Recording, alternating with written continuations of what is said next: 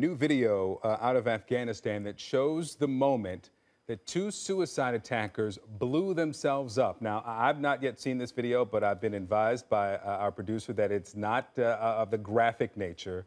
Uh, but this happened during a peaceful rally there in Kabul. Here's that moment.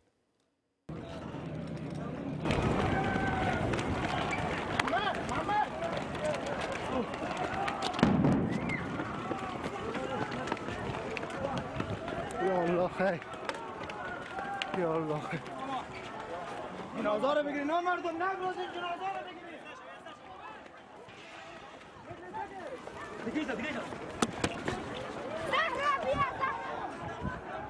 And not graphic, but disturbing nonetheless.